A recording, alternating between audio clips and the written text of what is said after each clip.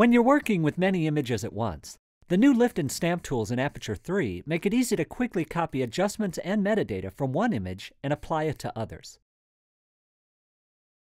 For example, these images were shot under similar lighting conditions, so you can save time and use the same white balance adjustment for all of them.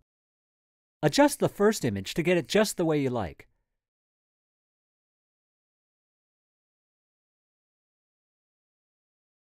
Then select the image and choose the Lift tool. The Lift and Stamp HUD appears, displaying all of the items that have been lifted.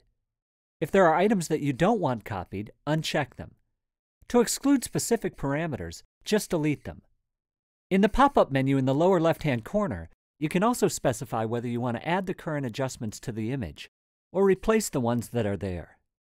Now simply select the images that you want to apply these settings to and click the Stamp Selected Images button.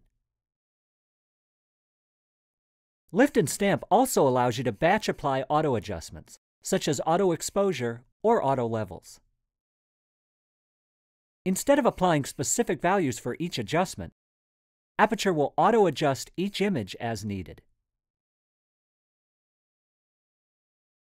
If you know that you need to transfer only the lifted adjustments or only the metadata from one image to another, you can use the Lift Metadata or Lift Adjustments command from the Metadata menu. Quickly and easily apply complex adjustments to groups of images using the Lift and Stamp tools in Aperture.